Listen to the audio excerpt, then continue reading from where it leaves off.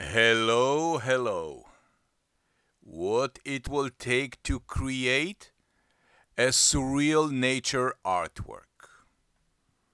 Instead taking a vitamin every morning, I'm taking four pills of patience so I can go and sit in nature for four, five, six hours in the same location and waiting for the right moment.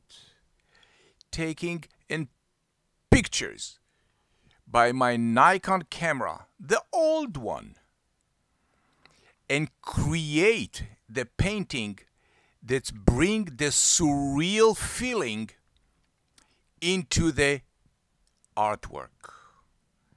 All my artwork sold as a limited edition 5 giclée for each artwork.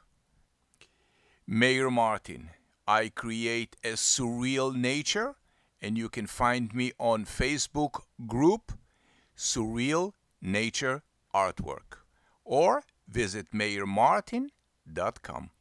Thank you for watching.